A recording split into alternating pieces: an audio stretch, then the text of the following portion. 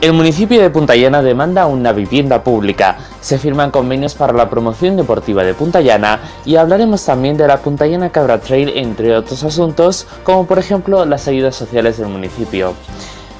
Así que empezamos ya.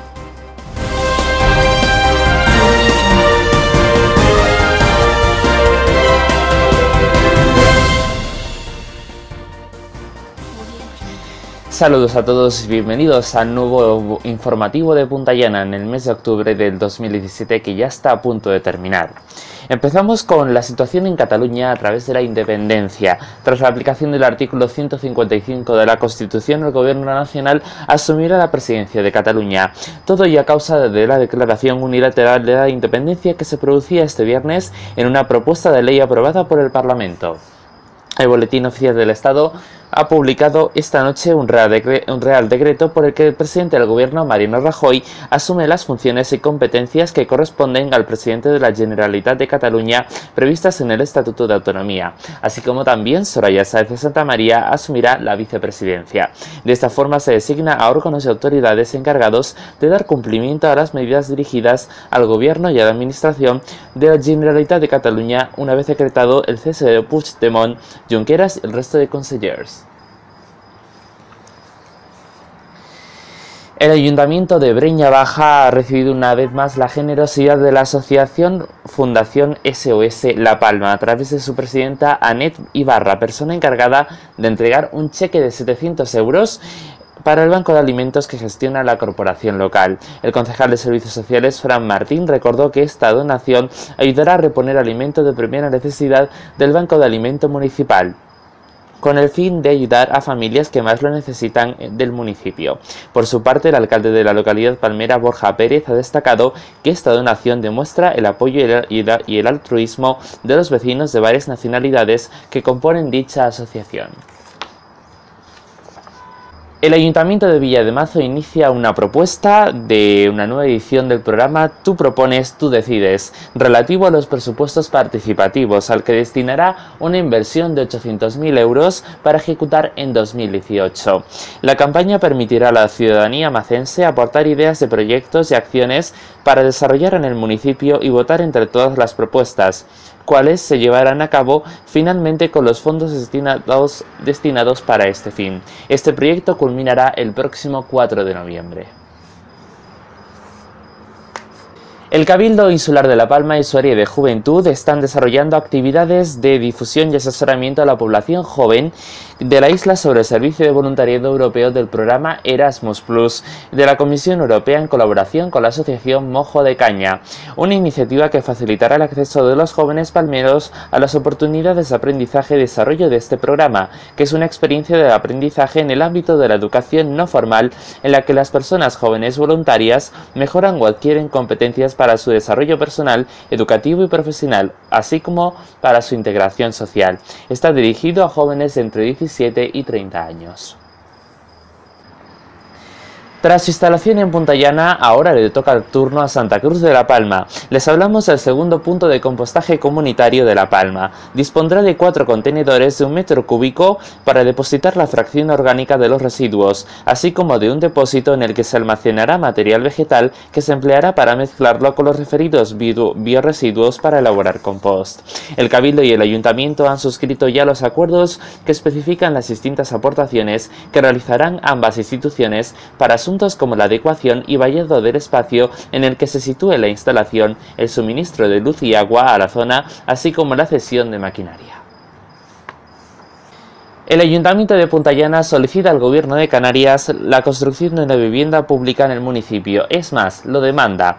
En una carta remitida el pasado 18 de octubre a la consejera de Empleo, Políticas y Vivienda del Gobierno de Canarias, el alcalde de la localidad, José Arián Hernández, solicita dicha construcción en una nueva promoción de viviendas en los terrenos adquiridos por la empresa pública Visocan, en el casco urbano del municipio, ya que las 62 viviendas de la primera promoción ya han sido adjudicadas tanto en régimen de alquiler como en, el de, venta.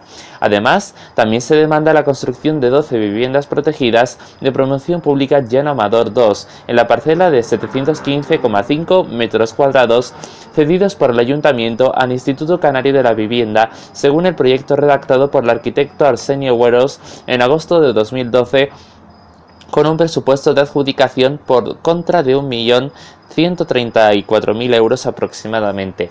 En los últimos meses el municipio está teniendo mucha demanda de vivienda, sobre todo por la llegada de migrantes retornados y de personas que desean vivir en nuestra localidad. Es más, en Punta Llana se ha ido incrementando la población, pasando de 2.387 habitantes ahora a 2.412 en 2017, continuando con una tendencia al alza durante el año en curso. El alcalde también le traslada a doña Cristina Válido, a la consejera, su total disposición para una entrevista en la consejería o una visita al municipio de Punta Llana para, para tratar estos temas.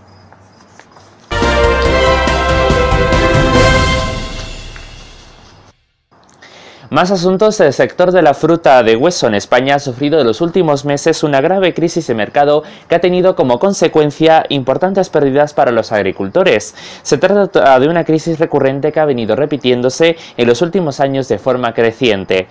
Según los datos expuestos desde el Ministerio, a través de su panel de seguimiento Cantar World, World Panel, el consumo total de fruta inició una caída en el año 2013 que ha alcanzado un descenso del 7%, aunque no todas las frutas han visto afectadas en la misma medida. En el caso de la manzana el descenso ha sido de un 7%, pero en el caso de melocotón ha caído un 15% y para la pera en un 22%.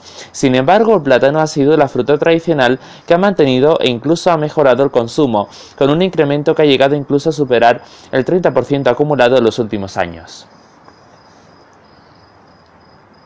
Y esto que ven aquí es nuevo material contra incendios propuesto por la Consejería de Medio Ambiente y Servicios Sociales del Cabildo Insular de La Palma cuya inversión ha sido de unos 12.000 euros en la compra de este material con, e, con un objetivo más claro de combatir los incendios forestales que últimamente estamos sufriendo. Eh, en concreto, el departamento que dirige Juan Manuel González ha adquirido 18 motosierras y 5 sopladoras. Estas nuevas herramientas van a ser empleadas por los nueve retenes integrados por el personal del Servicio de Medio Ambiente, que se dedican, entre otras tareas, a realizar tratamientos selvícolas en toda la geografía insular como parte de la lucha preventiva contra los incendios forestales de La Palma.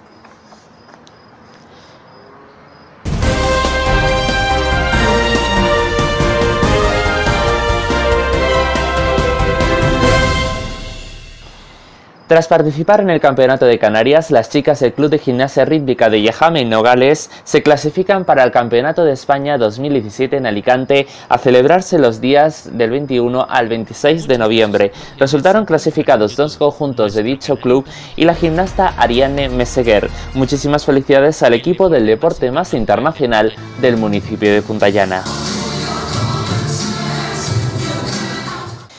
En este mes de octubre, la Concejalía de Deportes de Punta Llana ha firmado diferentes convenios para la promoción deportiva en las actividades extraescolares para los niños y niñas. Han sido las modalidades de tenis de mesa, ajedrez y baloncesto.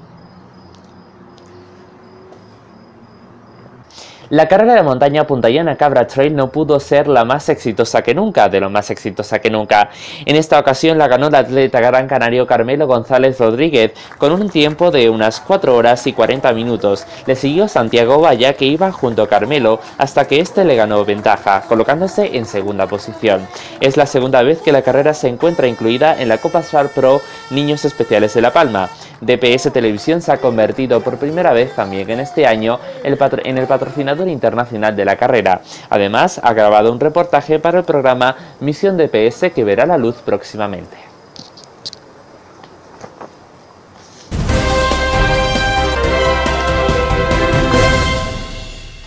Comenzamos nuestra sección de cultura hablando del programa Cocina conmigo en Mírame Televisión en Punta Llana.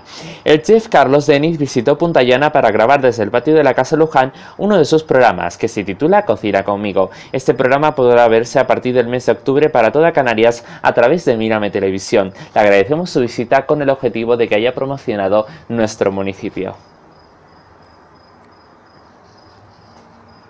El grupo de teatro de mayores San Juan de Punta Llana participó en la 33 Semana Sociocultural de homenaje a nuestros mayores que organiza la Consejería de Asuntos Sociales del Cabildo Insular de La Palma, que está teniendo lugar en la residencia de pensionistas. Una tarde cargada de alegría y diversión, donde a buen seguro tanto nuestros mayores como sus familiares disfrutaron con las aventuras y ocurrencias de este simpático grupo.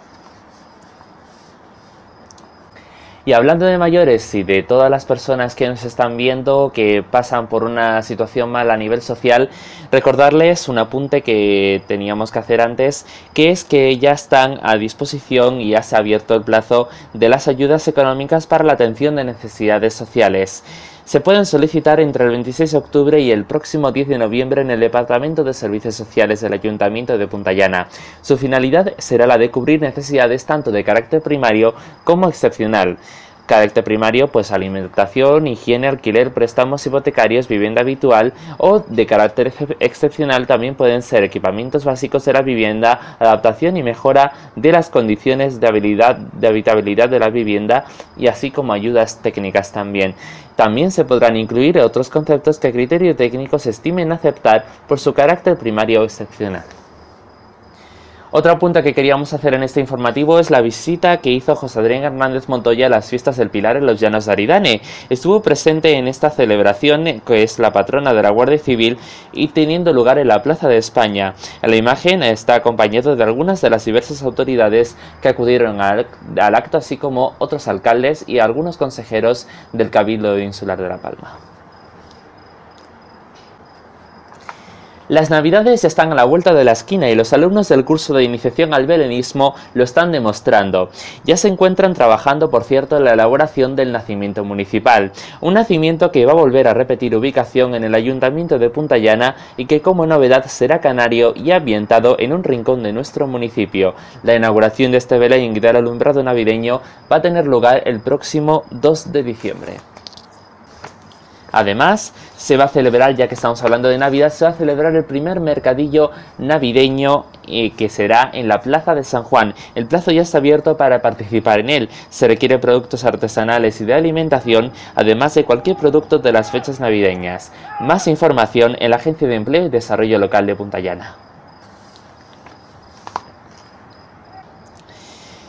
La semana pasada se dieron a conocer los ganadores del tercer concurso de Turisfoto del pasado verano. Turisfoto ha sido, pues ya saben que es el objetivo principal de resaltar a través de la fotografía los ricos y diversos atractivos paisajísticos, culturales y también patrimoniales del municipio. Tras una larga deliberación, decidió por unanimidad el jurado conceder los siguientes premios. El primero fue para Roberto Rodríguez Martín, que es una imagen del charco de la pileta. El segundo premio para Juana María Cabrera Cabrera, con el título Buscando el rumbo.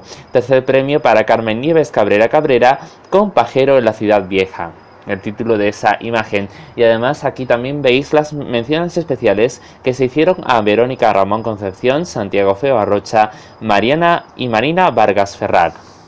Desde el área de turismo del Ayuntamiento de Punta Llana se quiere felicitar tanto a los ganadores como a los participantes de esta tercera edición que ha reunido cerca de 40 fotografías de diversos rincones y parajes de nuestro municipio, poniendo en valor sus múltiples recursos. Las imágenes van a ser expuestas en el primer semestre del próximo año en una muestra colectiva de todos los trabajos participantes. Y como cada año se ha celebrado las fiestas en honor a la Virgen de la Piedad, en esta ocasión en el, en el mes de octubre recayeron en el barrio de la Galga. Son unas fiestas que han celebrado y han recuperado la tradición del manto azul para la Santa María, cargadas de emoción, dulzura y espectáculo en este entorno. No pudo faltar el concurso y cata de bizcochones y postres secos, además de los actos religiosos en honor a la Virgen. La ofrenda de este año corría a cargo de la agrupación de Castañuelas de Breña Alta, unas fiestas que han sido retransmitidas por DPS Televisión y que ya pueden ser visionadas. DPS Televisión, no obstante, ha grabado un reportaje que se va a emitir próximamente en Misión DPS.